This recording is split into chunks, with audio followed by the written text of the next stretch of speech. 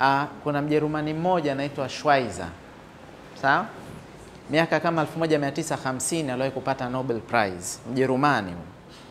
Yeye akasema successful is not a key to happiness.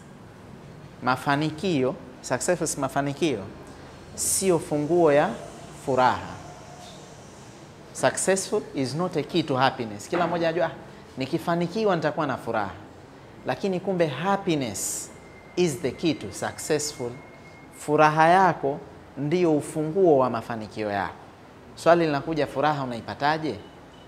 Kwa hiyo happiness inapatikana kutokana na hard working na kuwa na mapenzi ya kile unachokifanyia kazi.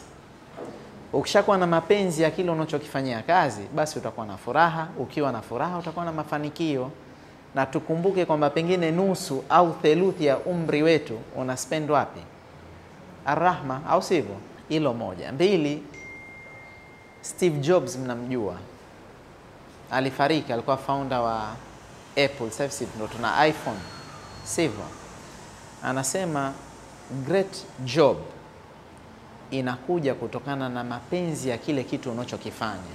Kwa hivyo, kwanza tukiwa na mapenzi ya dhati ya kile tunachokifanya, basi hakika hiyo kazi itakuwa nini? Nzuri. Ikiwa una mapenzi ya kupiga rangi, basi ile rangi yako ukiipiga itapendeza. Ukiwa una mapenzi ya kupika, basi kweli ukipika chakula kitakuwa kitamu, au sivyo?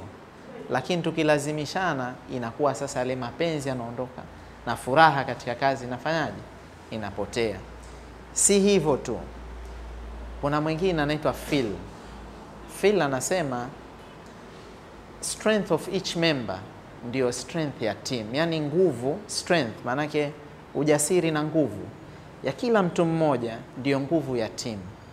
Lakini akasema pia na strength of a team is a strength of each member, na nguvu ya ile team ndiyo nguvu ya mtu binafsi. Na maana gani?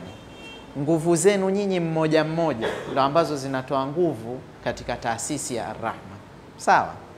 Lakini pia na nguvu ya taasisi na ambao pia inawasaidia na nyinyi kuwa na nguvu kama mmoja mmoja. Tumefahamiana? Nguvu zenu nyinyi ndio zinajenga nguvu kwenye taasisi, na taasisi ikiwa ina nguvu inakuwa pia na uwezo wa kupeni nyinyi support, sawa. La mwisho kumalizia, Mtume sallallahu alaihi wasallam hadithi pia sio wale wa Faransa sio wa Jerumani. Mtume alaihi wasallam anasema Mwenyezi Mungu anampenda yule mwenye kuhangaika na yule mwenye kufanya ile kazi kwa mapenzi. Si mnanisikia au? Kwa yule ambaye anaweza kufanya kazi kwa nini? Kwa mapenzi. Kwa hivyo wote tufanye kazi zetu kwa mapenzi.